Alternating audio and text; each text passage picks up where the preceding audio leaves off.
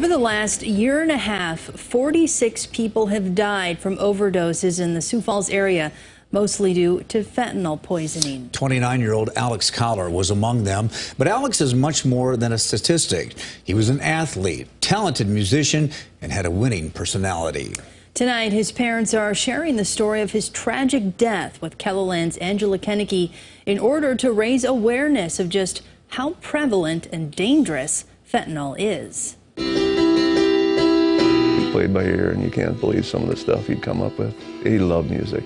He was sweet. He was our boy that always checked in on us constantly. Alex Collar's parents want him to be remembered for more than his addiction. Tom and Anita, who goes by Petey, lost their 29 year old son in April to fentanyl poisoning. The couple was on vacation in Florida at the time. And we got the phone call there, um, and it makes me so sad that he was by himself when he died and it's just addiction is just so ugly.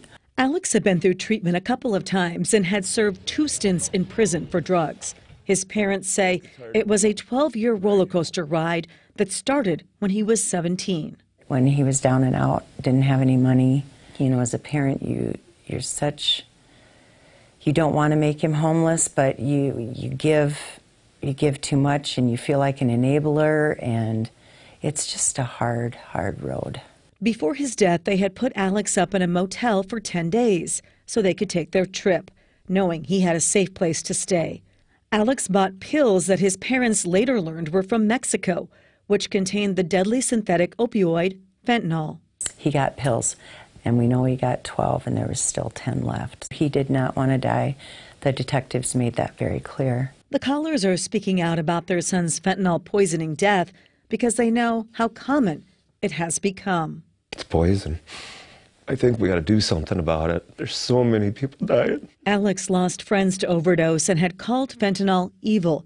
Yet he didn't have fentanyl testing strips, which would have told him the pills he bought were laced. If it saves one person, it was a great deal but I could see it probably could save a lot of them. Fentanyl testing strips are cheap and easy to use. However, as our KELOLAND News investigation discovered, it's actually illegal to have them in South Dakota. We will take a look at the law and the effort underway to change that tonight on KELOLAND News at 10. The Collars say they've had tremendous support from their small community in Parker. The DCI is assisting Sioux Falls police in investigating who sold the laced pills to Alex, but no one has been arrested.